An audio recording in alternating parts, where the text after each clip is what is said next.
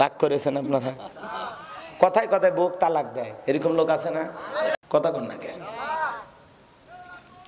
মন খারাপ? স্ত্রীকে আপনি তালাক দিতেছেন মায়ের কথা। আপনার স্ত্রী যদি কোনো দোষ না থাকে, তাহলে তার উপরে কি করা হলো? জুলুম করা হলো। সেই হিসাব আল্লাহর কাছে কি আপনি দেবেন? আসল ঘটনা কি? রহস্য কি? প্রকৃত সত্য কি? এর ভিতরে ঢুকে দোষ কার? সমস্যা কার ভিতরে? এটাকে আপনাকে যাচাই বাছাই করতে হবে, তারপরে তো সিদ্ধান্ত নেবেন। আর সিদ্ধান্ত নেওয়ার আগে হাজার বার চিন্তা করা লাগবে, কারণ আপনার স্ত্রীর মাধ্যমে আপনার দুই, তিনটা সন্তান দুনিয়াতে আসছে। আমাদের উচিত কি? রাগকে কি করা? হজম করা। কথায় আছেন, আপনি রেগে গেলেন তো হেরে গেলেন। রাগের তালে মানুষ কত কি করে? রাগ করে বউ তালাক দেয়, পরে মাথা ঠান্ডা হলে, হাই রে, তিনটা সন্তান এখন কি হবে? কে রে মদন? এখন চিন্তা করিস কে? কথা কর না কে? মাথা তো ঠান্ডা রাখা লাগবে, কথা কর না এখনও খুঁজতেছে, হুজুর, বলে ফেলে দিছে তিন তালাক। এখন কি হয়? কথা কর না ওই রাগটা কন্ট্রোল করা লাগবে, এটা হলো পুরুষের দায়িত্ব, কথা কর না রাগ করে আপনি সব রাগ বইয়ের উপর ছাড়িয়ে দিলেন। কে, আপনি রাগ করে ঘুষি মেরে দেয়াল ফাটালেন না কে? কথা কন না আপনার এত রাগ হয়েছে, আপনি পুকুর চেঁচা শুরু করেন। কথা কন না? আপনার এত রাগ হয়েছে, হেঁটে ঢাকায় চলে যান। রাগ এমনি ঠান্ডা হয়ে যাবে। বাপরে, ও রাগ হয়ে বক্তা লাগতেছে। শেষ ফয়সালা, আর কোনো ফয়সালা নাই। এরকম পাগল আছে না না? পরে তালাক দিয়ে যখন মাথা ঠান্ডা হয়, তখন দেখে দুই সোল, তিন সোল, এক সোল। এখন বইয়ের কি হবে? সোলের কি হবে? কথা কন না খে এই জন্য রাগটাকে কি করা লাগবে? কন্ট্রোল করা লাগবে। ইনসা ইনসা কেউ গালি দিলে আমরা পাল্টা গালি দেব। কেউ খারাপ ব্যবহার করলে আমি খারাপ ব্যবহার করব। কেউ হিংসা করলে আমি করব। কেউ অহংকার করলে আমি করব? করব না। সার দেব সার দেব। একদিন ওই শত্রুকে বন্ধুতে পরিণত করে দেবেন কে? এটা কার ওয়াদা? সুরা হামিমা সিজদার চৌত্রিশ নাম্বার আয়াত। মনে রাখবেন আল্লাহর ওয়াদা কখনো মিথ্যা হয়? নিঃসন্দেহে এটা কোটিবার সত্য। কথা বলেন ঠিক কিনা? আল্লাহকে আমরা বিশ্বাস করি তো? আল্লাহর কথাকে আমরা বিশ্বাস করি তো? বিশ্বাস না করলে ইমান থাকবে? থাকবে? তাহলে আমার আল্লাহ কি বলেছেন? ভালো আর মন্দ সমান হতে পারে না। তুমি যদি মন্দের স্বভাব ভালো দিয়া দাও, কেউ রাখা হয়েছে, গালি করেছে, খারাপ ব্যবহার করতেছে, হিংসা করে আপনারা দেখতে পারে না, সহ্য করতে পারে না। আপনি কিছুই মনে করবেন না। ওরে সার দিতেই থাকেন দিতেই থাকেন।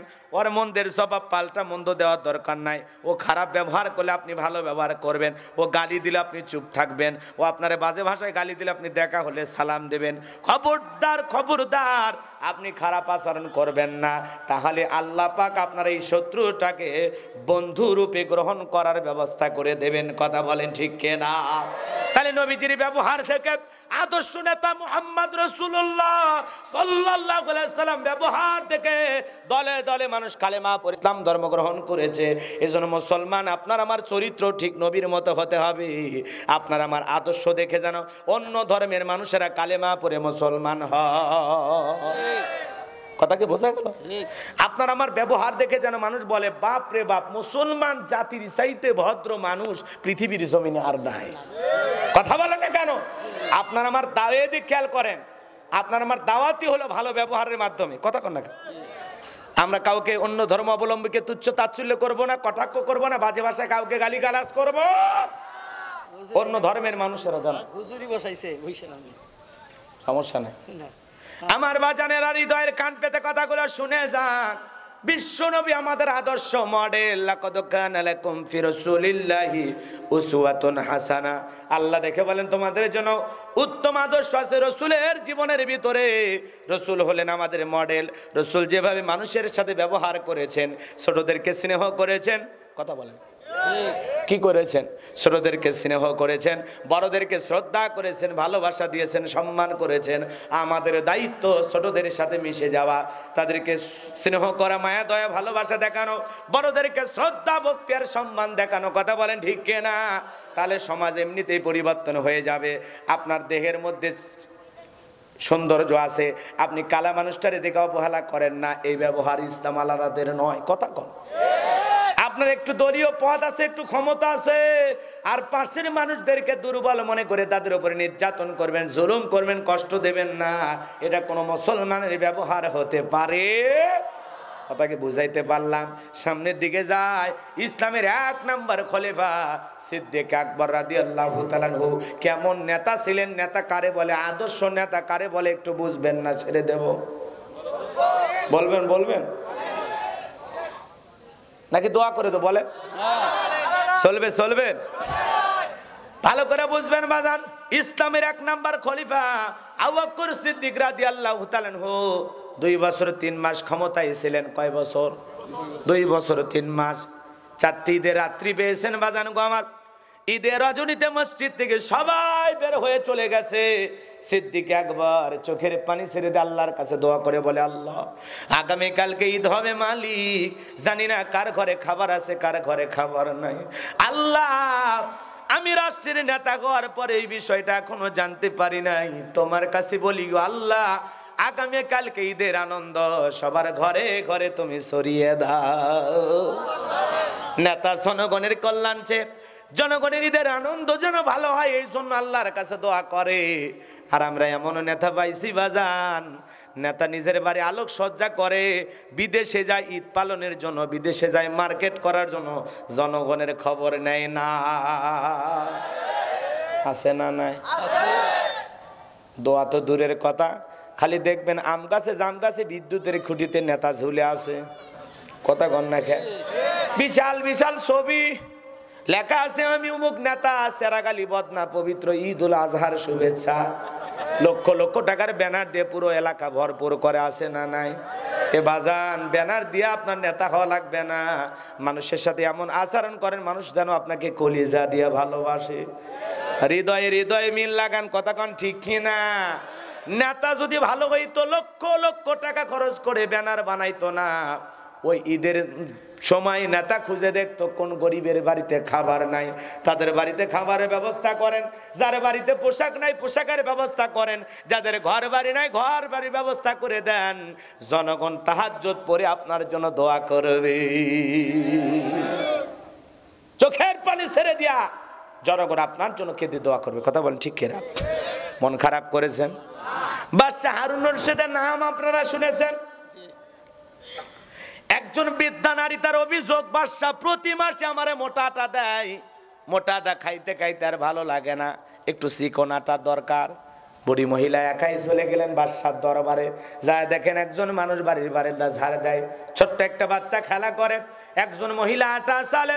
বুড়ি মহিলা তাকায়া দেখেন, ওর বাড়ির বাড়ির চাইতে এই বাড়ির আটাগুলো আরও বেশি মোটা মোটা মনে হয়। একজন মানুষকে জিজ্ঞাসা করলেন, বাড়ির বারেন্দা ঝাড় দেয় লোকটাকে? বলে, ওইটাই হলো বাদশাহ হারুন রশিদ।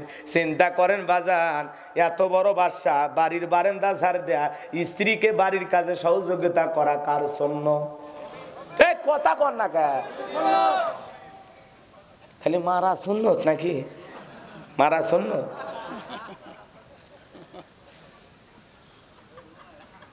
রাগ করেছেন আপনারা? কথায় কথায় বুক তালাক দেয়। এরকম লোক আছে না? কথা কন না কেন? মন খারাপ? স্ত্রীকে আপনি তালাক দিতেছেন মায়ের কথা। আপনার স্ত্রী যদি কোনো দোষ না থাকে, তাহলে তার উপরে কি করা হলো? জুলুম করা হলো। সেই হিসাব আল্লাহর কাছে কি আপনি দেবেন? আসল ঘটনা কি, রহস্য কি, প্রকৃত সত্য কি? এর ভিতরে ঢুকে দোষ কার? সমস্যা কার ভিতরে? এটাকে আপনাকে যাচাই বাছাই করতে হবে, তারপরে তো সিদ্ধান্ত নেবেন। আর সিদ্ধান্ত নেওয়ার আগে হাজার বার চিন্তা করা লাগবে, কারণ আপনার স্ত্রীর মাধ্যমে আপনার দুই, তিনটা সন্তান দুনিয়াতে আসছে। কথা কন না কে? মাথা গরম করলে হবে কি যেন বলতে চাচ্ছিলাম, ভুলেই গেলাম। আপনারা ভুলে গেছেন? বাদশাহ হারুন রশিদ বাজানো আমার বাড়ির বান্দা ঝাড় দেয়। এই জন্য বিশ্ব নবী আম্মা জানাই সারা দিয়ে আল্লাহ রেখে বলেন মাঝে মাঝে বাড়িতে এসে নবীজি দেখতেন খাবারের কোনো আয়োজন রেডি হয় নাই। তখন নবীজি যুদ্ধ করা তরবারি দিয়ে রান্না বান্নার কাজে সহযোগিতা করতেন, বলেন, আল্লাহু আকবার। স্ত্রী রান্না বান্না হলে অনেক স্বামী গালি দেয় আসে না না বকাঝকা করে, করা যাবে না। স্ত্রী কাজে সহযোগিতা করতে হবে, ছোটখাটো রান্না বান্নার কাজে সহযোগিতা করতে হবে। ভালো করে বুঝবেন, বাজান স্ত্রী কাজে রান্না বান্নার সহযোগিতা শুধু তাই নয়, মাঝে মাঝে স্ত্রীকে বলবেন, আজকে যত কাপড় আছে দাও, সব কাপড় আমি ধুয়ে দেব। কথা কন না গে? বউ খুশি হয়ে যাবে। খুশি হবে না? অনেক স্ত্রী যদি ভালো হয়, বলবে, না, আমি থাকতে তুমি কেন কষ্ট হলে আমার হবে? তোমারে আমি কষ্ট করতে দেব না। আর বউ যদি খান্নাস মার্কা হয়, সুযোগ পাইছি তোরে খাইটে নেওয়ার। এই সুযোগে কাছে লাগালে লাগবে, দেখ কাপড় দিয়ে কত কষ্ট। কথা কন না খেয়ে আপনারা দিয়ে বাড়ির সব খেঁতা বালি ধুয়ে রাগ করেছেন আপনারা? এই জন্য মাঝে মাঝে স্ত্রীকে বোঝানোর জন্য বলবেন, আজকে যাও, সব কাপড় চোপড় আমি বাড়ি ধুয়ে একে পরিষ্কার করে ফেলে দেবো। এমনি মশান নেবেন। ভালো স্ত্রী বললে আপনারা করতে দেবে না, আর যদি সেরকম স্ত্রী হয়, আপনারা সাইজ করেই নেন। কথা কন ঠিক কি? অথবা বলবেন, যদি না পারেন, তাহলে বলবেন দুইজনে মিলে ধুয়ে আসো। আমি হুইলটা যে পানির মধ্যে দিয়ে দেই, আর তুমি কাপড় সবাই ঠেকনায় ঠেকনায় ধুয়ে দাও। আমি আবার ওইটা ধুয়ে ধুয়ে, সিবে সিবে রুদি লাগিয়ে দিই কথা কন ঠিক না পারলে দুইজন মিলে শেয়ার করবেন। রাগ করেছেন?